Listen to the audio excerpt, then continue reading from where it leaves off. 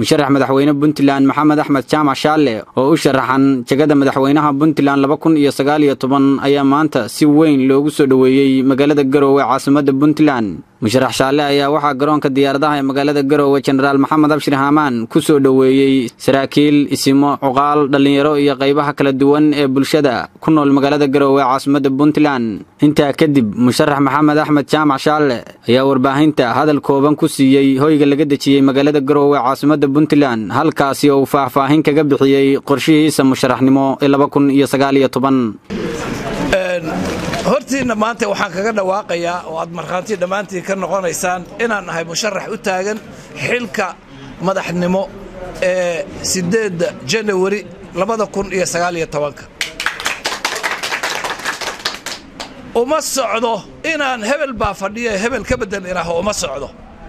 Waxaan u socdaa nasiib darrada ku habsatay labaatan sano puntland oo intii hore kor u socotay maantayna hoos u socota god ku socota inaan ka soo saarno. Uma socdo inaan jeebkayga u adeego ama reer u adeego ama koox u adeego. Waxaan u socdaa inaan u adeego shacabka reer puntland iyo soomaali weynba. Hadduu ilaahay yidhaaho waxaan wax ka qaban doonaa nabadgelyada. Nabadgelyadaan ka qaban doonaa waxaan wax ka qaban doonaa siyaasadda federaalismada ah ee ay dooratay soomaaliya oo aan aaminsanahay inay tahay midda lagu horumar lagu gaari karo maanta xaaladda ay ku sugan tahay soomaaliya. Waxaan wax ka qaban doonaa dhaqaalaha. Ma dhici doonto ama askari ha ahaado ama shaqaalo dawladeed ha ahaado in mushahar la'aan uu noqdo. Waxaan xasuustaa markii garowe iigu dambaysay ayraboorka waxaan kula kulmay laba xidigle yidhi siddeed sano siddeed bilood mushahar ma qaadan. Carruurtiisina guriga u fadhido oo wuxuu iskuul ku geeyo waaye ma dhici doonto hadduu ilaah yidhaaho haddaan xukunkaa ku guulaysto. Ma dhici doonto askariga iyo dadka danyarta ah carruurtooda inay bannaanka joogaan oo ay waxbarasho la'aan noqdaan?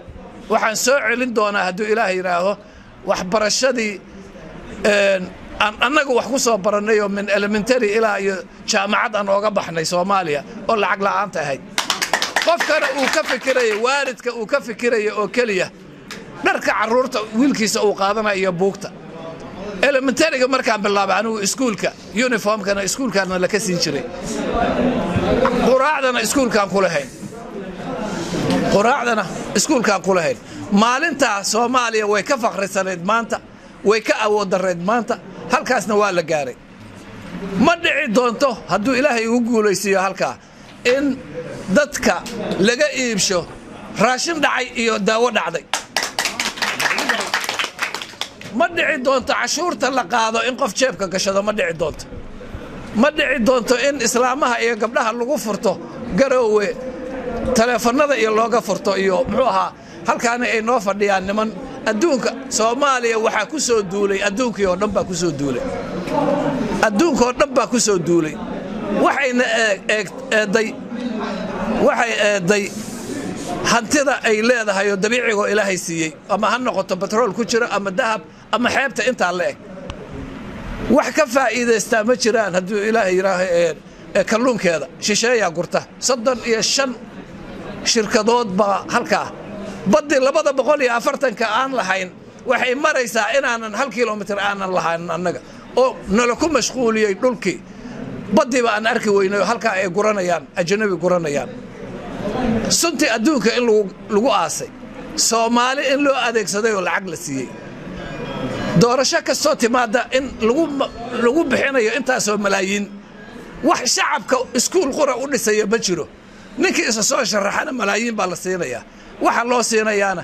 Waxa weeye dad wejiga iyo iyo iyo aragtidana soomaali ka ah ee gudahana ka ah ajnebi dad jeebkooda u adeegaya aan eegaynin dadka masaakiinta ah.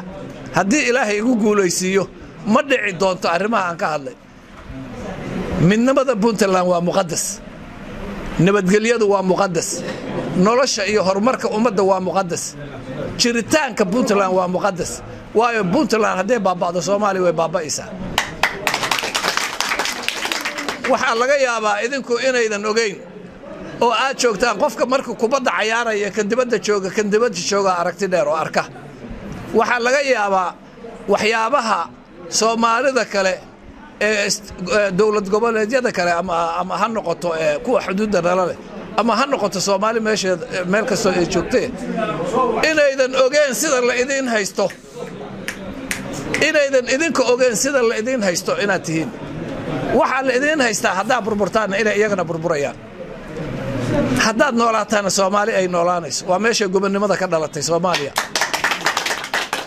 Waa meeshii ay ka dhalatay burburkii kadib intay fadhiisatay dowlad goboleed markii la samray. Dowlad goboleed dhalisay ee maantay ahaa miraheedii la wada maalayo soomaali o dhan maalayso afka hadday dhigato wallaahi soomaaliya o dhan baa afka dhiganaysa. Marka waa inaan iyada badbaadinnaa badbaadada iyada la badbaadinayano soomaaliya oo dhan baa la badbaadinayaa. Jaamac maxamuud star t v garow